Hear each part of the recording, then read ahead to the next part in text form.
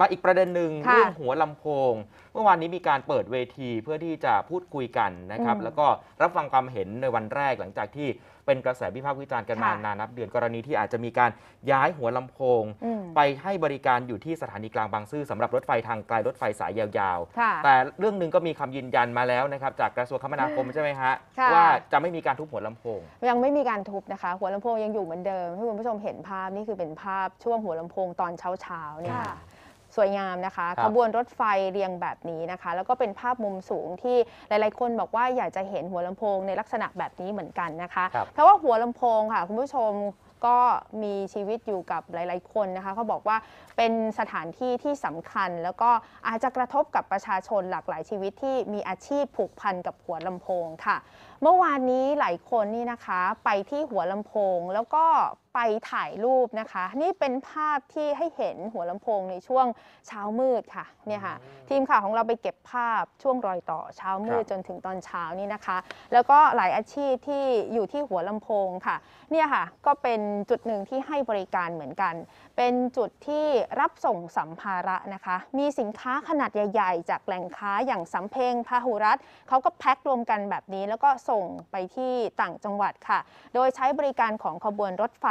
อย่างผู้ใช้บริการเขาก็บอกนะคะบอกว่าถ้าเกิดสมมุติว่านำสินค้าจากสำเพ็งมาส่งที่หัวลำโพงทุกๆวันเนี่ยค่ะก็สะดวกสบาย แต่ถ้าหากว่าย้ายไปไกลๆ ก็อาจจะทำให้ลำบากมากขึ้นค่ะ คืออยู่ที่สำเพ็งใช่พอส่วนมากแต่ถ้าอนาคตถ้าย้ายไปอยู่ที่บางซื่อก็คงจะแย่นะ เรื่องขนส่ง ก็คือถ้าลูกค้าต้องการของด่วนเนี่ยอาจจะ ลำบากหน่อยอะถ้าจะให้ไปที่บางซื่อมันก็จะลำบาก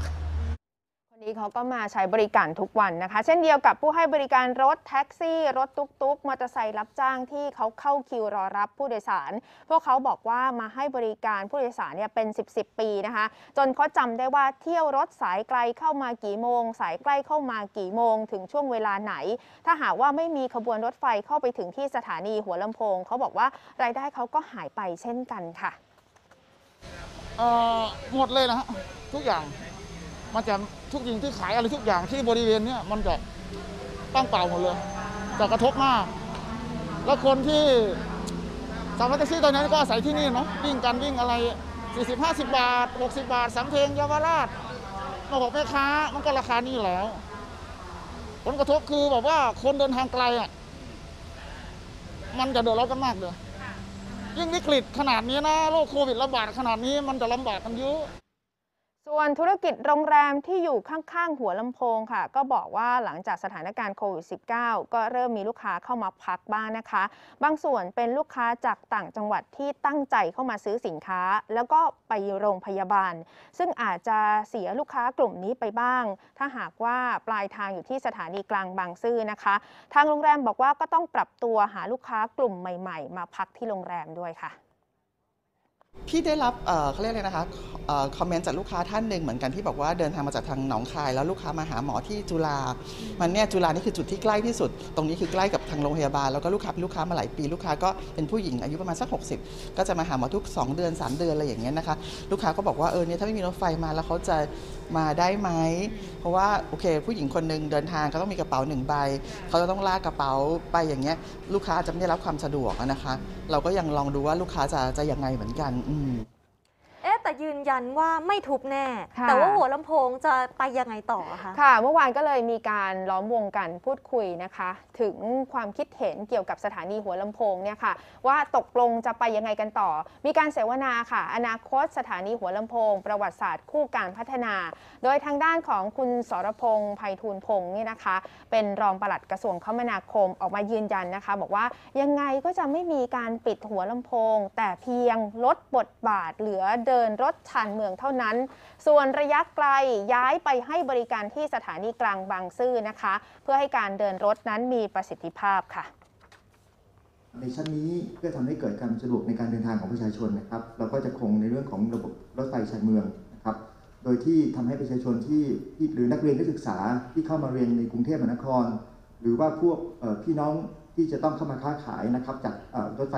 จากเดินอาศัยการเดินทางจาก จังหวัดใกล้เคียงนะครับ ได้เดินทางโดยระบบรถไฟชันเมืองเข้ามาสู่ที่สุวรรณภูมิได้นะครับทางที่ประชุมเองก็บอกว่าครับได้มีมตินะครับชัดเจนนะครับว่าเรายังคงในเรื่องของการเดินรถไฟชันเมืองอยู่นะครับ ก็ชัดเจนนะคะว่ายังมีรถไฟให้บริการค่ะ ส่วนที่ปรึกษาสหภาพแรงงานรัฐวิสาหกิจการรถไฟแห่งประเทศไทยก็บอกว่า ได้มีการตั้งคำถามไปถึงการพัฒนาพื้นที่ว่าควรนำที่ดินที่ยังไม่ได้ใช้เนี่ยค่ะมาใช้เขายกตัวอย่างอย่างเช่นที่ท่านุ่นจังหวัดพังงา ที่สถานีแม่น้ำแล้วก็ที่ดินที่ไม่มีรางรถไฟ ควรที่จะนำไปพัฒนานะคะ แล้วก็ระบุด้วยนะคะว่าถึงแม้จะมีรถทางไกลเข้ามาที่หัวลำโพง แต่ว่าตอนนี้นะคะอาจจะเหลือเพียงแค่ 22ขบวน ก็ยังไงก็ส่งผลกระทบกับประชาชนค่ะ การปิดสถานีรถไฟหัวลำโพงนั้นเนี่ยผมคิดว่า ณวันนี้เวลานี้นะผมคิดว่ายังไม่เห็นด้วยอย่างแน่นอน แล้วก็ที่สำคัญก็คือว่านะหัวลำโพงยังคงทำหน้าที่เป็นสถานีรถไฟต่อไป ส่วนในอนาคตข้างหน้า ถ้าระบบอย่างที่ดรสุเชษพูดและพวกเราพูดแล้วทั้งหมดเนี่ยก็มาว่ากันอีกทีเนี่ยแต่ถ้าเราจะต้องการให้สถานีรถไฟหัวลำโพงเป็นสถานีตามประวัติศาสตร์ ประวัติศาสตร์ที่มีชีวิตต้องมีกระบวนรถไฟเข้าไปกี่กระบวนนั้นก็มาว่ากันอีกทีหนึ่งโดยหลักของมัน มีหลากหลายความคิดเห็นนะคะ อย่างคุณประพัฒน์จงสงวน อดีตผู้ว่าการการรถไฟแห่งประเทศไทยก็บอกนะคะ ว่าการรถไฟควรจะออกมาชี้แจง เพราะว่าที่ผ่านมามีกระแสข่าวที่ทำให้หลายคนสับสน แล้วก็ยืนยันนะคะว่าขณะที่ตัวเขาดำรงตำแหน่งผู้ว่าไม่มีนโยบายที่จะปิดหัวลำโพง ซึ่งถ้าปิดจะต้องมีสายสีแดงไปเชื่อม แล้วก็ไม่เห็นด้วยที่จะงดเดินรถไฟทางไกล เพราะว่าประชาชนจะได้รับผลกระทบ ก็ขอให้เห็นใจประชาชนนะคะ ส่วนอีกคนนึงเป็นนักวิชาการค่ะ อาจารย์สุเมธองค์กิติกุลผู้อำนวยการวิจัยด้านนโยบายขนส่ง สถานี รถไฟนี่นะคะ อาจารย์ก็มอนิเตอร์ข้อมูลในลักษณะแบบนี้มาตลอดที่ DRI ก็บอกนะคะ บอกว่าสนับสนุนการย้ายบางส่วนเท่านั้นไปที่สถานีกลางบางซื่อ เพราะเห็นถึงศักยภาพในอนาคต แต่ว่ากระทรวงคมนาคมควรพัฒนาโครงข่ายการขนส่งให้เชื่อมต่อมากยิ่งขึ้นด้วยนะคะ หัวลำโพงมีความหมายกับหลาย ๆ คนนะคะ บางส่วนที่นำเสนอไปนี่ก็คือเป็นเพียงแค่บางอาชีพเท่านั้น จริง ๆ มีร้านค้าร้านรวงเล็ก ๆ ที่อยู่ตามมุมของหัวลำโพงค่อนข้างที่จะเยอะมากนะคะแล้วก็หลายคนค่ะเมื่อวานที่ไปหัวลำโพงดิฉันไปสังเกตการณ์เห็นครับเหมือนกัน เพราะว่าไม่รู้ว่าอนาคตหัวลำโพงเนี่ยจะปิดจะทุบหรือว่าจะออกมาเป็นยังไง แม้ว่าจะมีการยืนยันว่าไม่ทุบนะคะ ยังคงอยู่เหมือนเดิม แต่ไม่รู้ว่าขบวนรถไฟที่เคยเข้าไปจอดเนี่ยจะมีมาอีกหรือเปล่าทำให้ภาพของการถ่ายภาพ แล้วก็เก็บเป็นที่ระลึกเนี่ยค่ะเกิดขึ้นทุกๆวันนะคะ หลายคนบอกว่าเดินทางมาเพื่อตั้งใจมาถ่ายรูปเก็บครับเอาไว้เป็นที่ระลึกโดยเฉพาะด้วยนะคะค่ะอืมจริงๆ ถ้าไปดูในต่างประเทศในหลายๆ ประเทศ แม้ว่าจะมีการปิดสถานีรถไฟ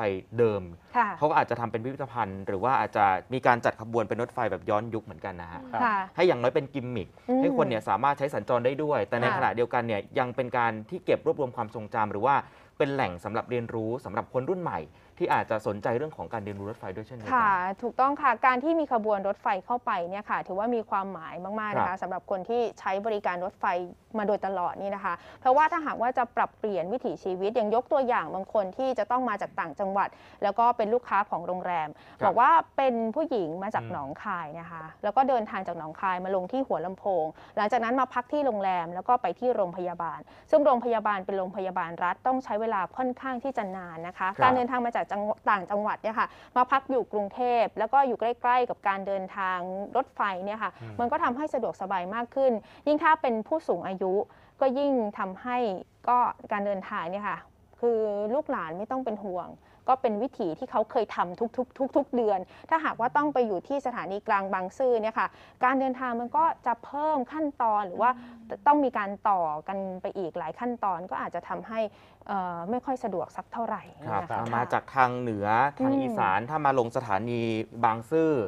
ก็มีทางเลือกไม่รถเมย์ก็ต้องค่ะ ต่อรถไฟฟ้า ซึ่งมันก็อ้อมอีก แต่ถ้าเกิดว่ารถไฟปกติเนี่ยจากบางซื่อมาสามเสนผ่านยมราชเข้าหัวลำโพงค่ะ เร็วกว่า ต้นค่ะทุนก็อาจจะลดลงด้วยถูกต้องนะค่ะ ค่าใช้จ่ายลดลง ก็มีความชัดเจนในระดับหนึ่งนะคะ เดี๋ยวรอครับดูว่าสุดท้ายแล้วเนี่ยสถานีรถไฟหัวลำโพง จะมีขบวนรถ ครับมาจนถึงที่สถานีรถไฟหัวลำโพง สักกี่ขบวน แล้วก็ครับ ใครสามารถใช้บริการได้ต่อเนื่องบ้างนะคะ ครับ